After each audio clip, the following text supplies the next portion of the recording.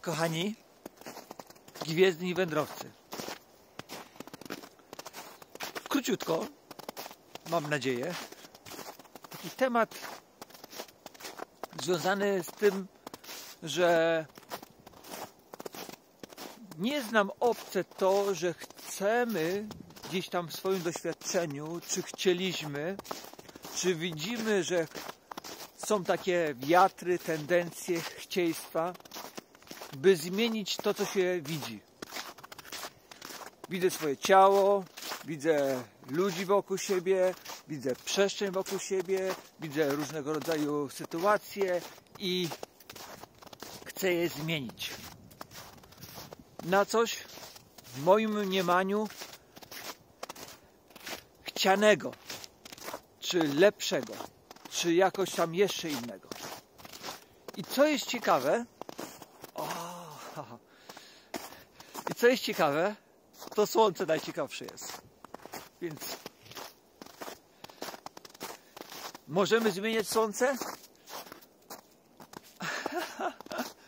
No, możemy się wysilać, zmienić słońce. Jedynie co to nagle zobaczymy chmury, które nam zasłonią to słońce, albo jakieś przedmioty, albo drzewa. No i akcja jest tego rodzaju, że chcemy te chmury wszystkie przewiać, przemieścić, żeby lepiej widzieć słońce. I co jest ciekawe, chmury płyną w swoim tempie, w swoim kierunku.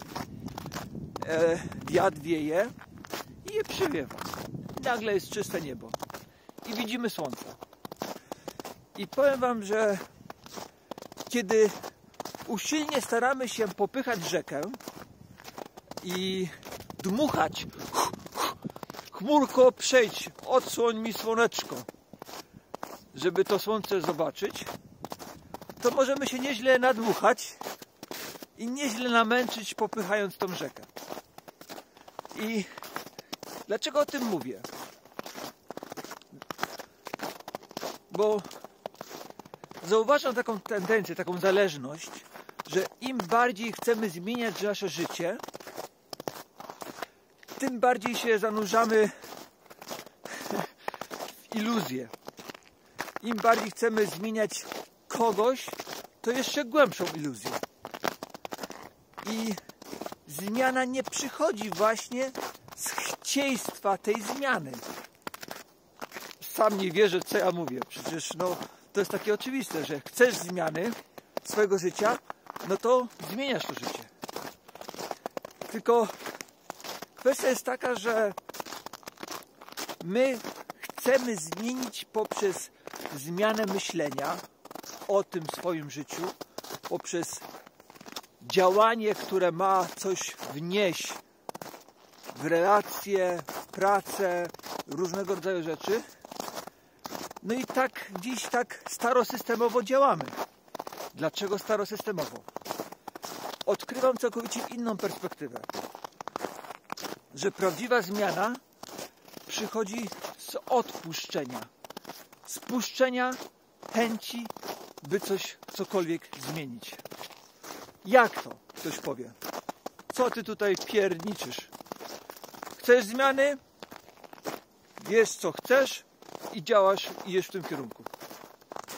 No, proste. Ale z racji tego, że ja sobie pierniczę na swoim kanale, to mogę pierniczyć co chcę, prawda? A ty możesz powiedzieć, ok, coś w tym jest, coś jest tym poruszającego mnie od wewnątrz, albo powiedzieć, co za pierdoły, bzdury. I to jest ok. Dlatego, że ważne jest to, żebyś ty tak naprawdę, przeglądając się w tych moich słowach, w słowach tych innych, innych, którzy zapraszają Cię do działania, zrób to, teraz jest wyzwanie, tak jest, działamy, zmieniamy siebie na lepsze. No dobra, ale kontynuujemy dalej. Yy, miało być 5 minut. Widzicie, kochani, jest tak, że struktura dla mnie wygląda w ten sposób, że kiedy podłapuję jakiś obraz siebie, że chciałbym być jakimś innym. To jest myśl. Kiedy o tym myślę, dokarmiam to emocjami, wyobrażając sobie, jakbym się czuł, gdybym był taki inny, zaczyna to przekładać się na działanie. Zaczynam robić, w jakimś sensie realizować, urzeczywistniać, gonić ten obraz. I on się realizuje, to jest w jakiś sposób. I zmieniania rzeczywistości, zmieniania siebie. I tak wszystko funkcjonuje. Więc dlaczego chce mi się mówić inaczej? Wszystko, może nie wszystko.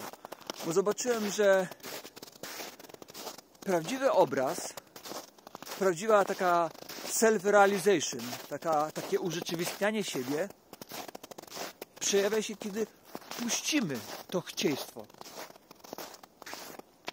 Wiąże się to z taką akceptacją, przyjęciem tego, co jest, to po prostu jest. I nie jest to postrzegane jakimkolwiek moim chcieństwem, że chciałbym, żeby to było inne. To jest doskonałe samo w sobie.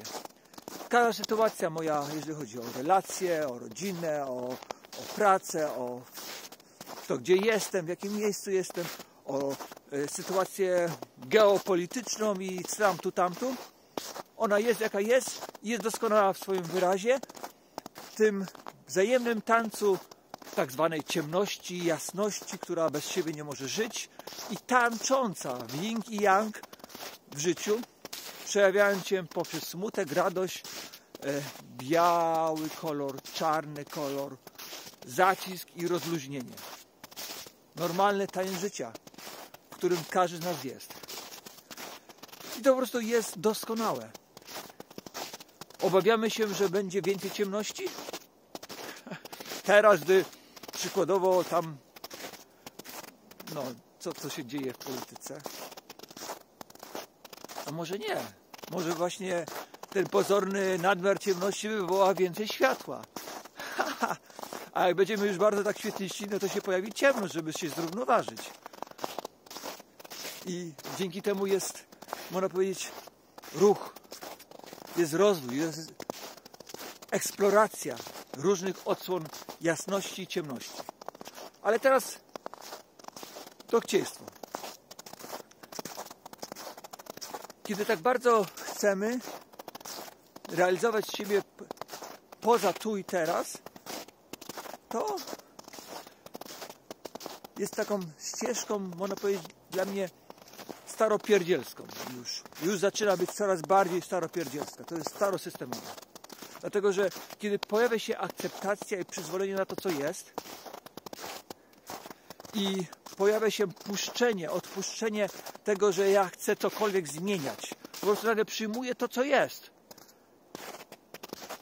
Bez napinania się, bez walki, bez jakiegoś e, myślenia, że miałoby być inaczej, że jestem. Ile saren. Jeleń? To to nagle powoduje coś niezwykłego w naszej, naszym przebudzeniu. I powiem Wam, że tego wyłania się, z tego wpuszczenia, odpuszczenia, nasze prawdziwe jam jest.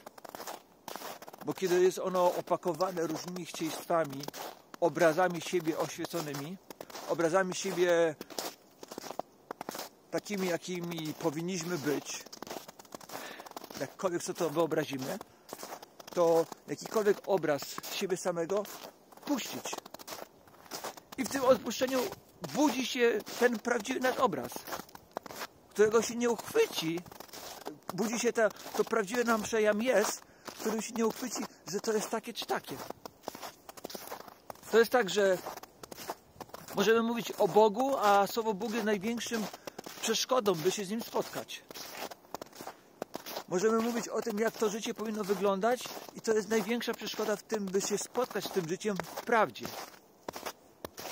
I kiedy puścimy te wszystkie nasze chcieństwa, zmienienia czegokolwiek, No właśnie, i teraz to jest tak trudne do przyjęcia przez każdego z nas, włącznie ze mną. Kiedy puszczam to wszystko, wtedy przychodzi zmiana. Kiedy puszczam chcenie, by cokolwiek zmienić, wtedy pojawia się zmiana. Kiedy to chcenie hoduje w sobie, to się spieram, walczę, napinam. Poprzez rozwijanie się w rozluźnieniu, w puszczaniu. Ćwiczę odpuszczanie. Puść, odpuść sobie ćwiczenie odpuszczania. Po prostu puść to. To jest takie uwolnienie tej tendencji myślowej, że nagle uwalniam mega potencjał energetyczny w sobie. Już nie próbuję się rozluźnić. Już nie staram się rozluźniać. Nie, od, nie pracuję nad odpuszczeniem. Po prostu jest to coś wyłaniające się bez chcieństwa, by to coś zmienić, przepełnione akceptacją, zaufaniem, wielkim boskim jam jest. Tak. Tak więc, kochani, chcecie być zaskoczeni przez życie?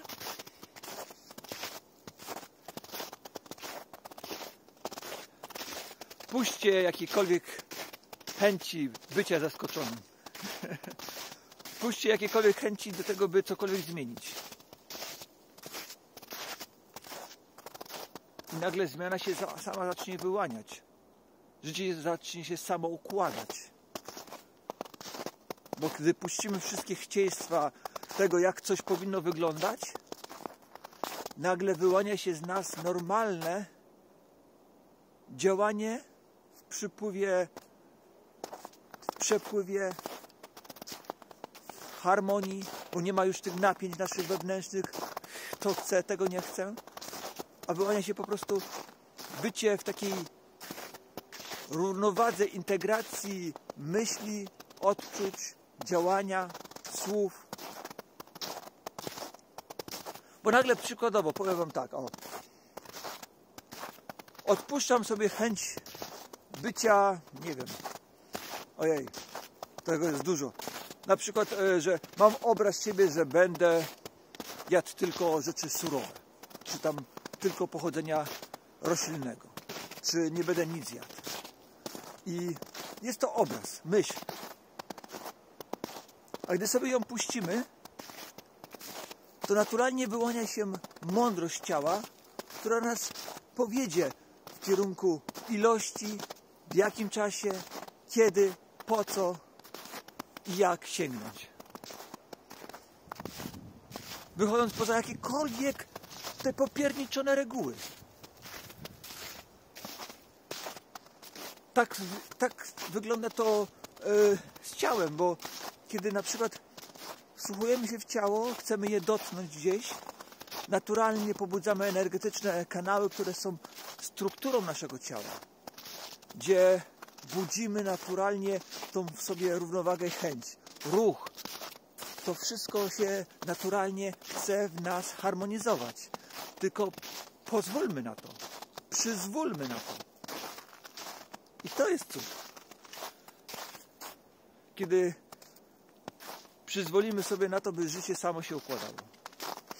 Ale ktoś powie, no jak? O czym ty mówisz? Mnóstwo przykładów i opowieści usłyszałem, że chciałem tak bardzo dziś to życie poukładać, poukładać, aż w końcu sobie odpuściłem, odpuściłem i zaczęło się samo układać. Tak bardzo chciałem słyszeć odpowiedzi Boga dla swojego życia, jakieś wskazówki i tak dalej. Różne e, wróżbiarskie, różne były jakieś zagrania w postaci tego, żeby dowiedzieć się, wiedzieć. Gdy sobie to wszystko puściłem, nagle pojawiło się to wiem. Tak bardzo chciałem się uzdrowić w czymś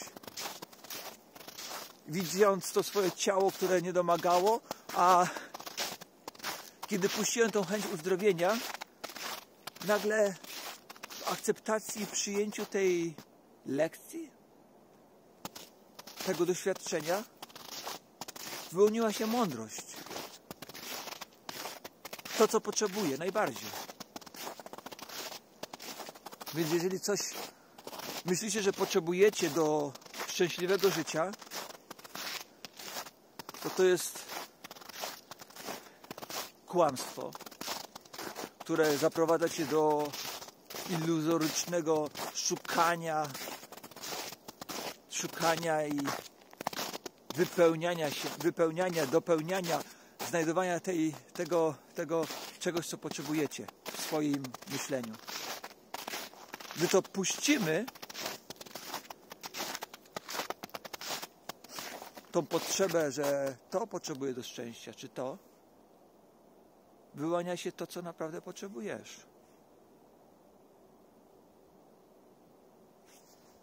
Ja wiem, że można być nakręcony myślami, które przychodzą od tych tak zwanych mediów różnych, czy tak zwanych przykładów oświeconych.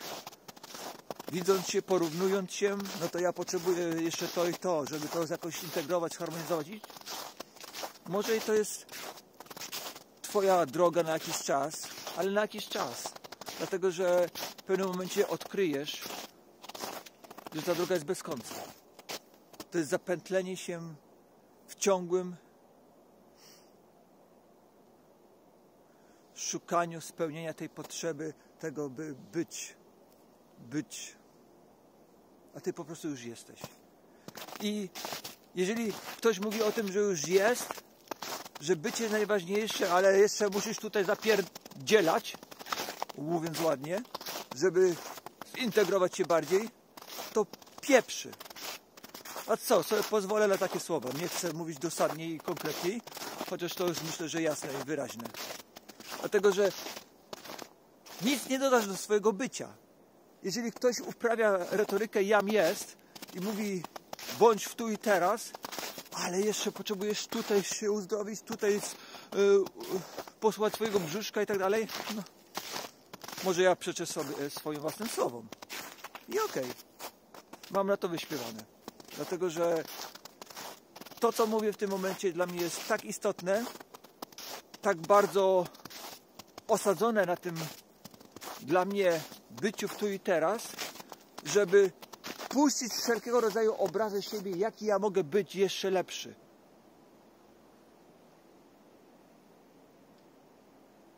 I gdy to puszczę, naturalnie, bez mierzenia, bez określania, bez porównywania się z kimkolwiek, staje się lepszy. To znaczy taki, jaki mam być bez ciśnięcia to w jakiś obraz siebie, jak, być jakimś. No dobrze, kochani. Popodniecałem się, pogadałem sobie w lesie do siebie z drzewami i najlepszego dla Was. Trzymajcie się, hej.